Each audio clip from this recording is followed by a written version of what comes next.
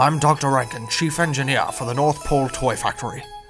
So, my team has been attempting to create a mobile operations base for Mr. Claus for the past decade, and finally, finally, it's here. We started small in our own offices at the Tech Lab, building small drones with a 3D printer. And it wasn't until just recently that we found the key to taking it one step further.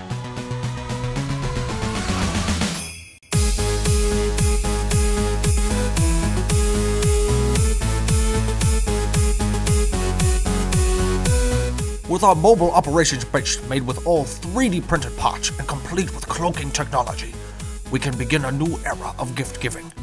A faster method where we can assign the right gift to the right person in a flash, see who has been naughty or nice, and cut down on shipping time by 75%, giving us more production time throughout the year. And on top of all that, it just looks frickin' cool.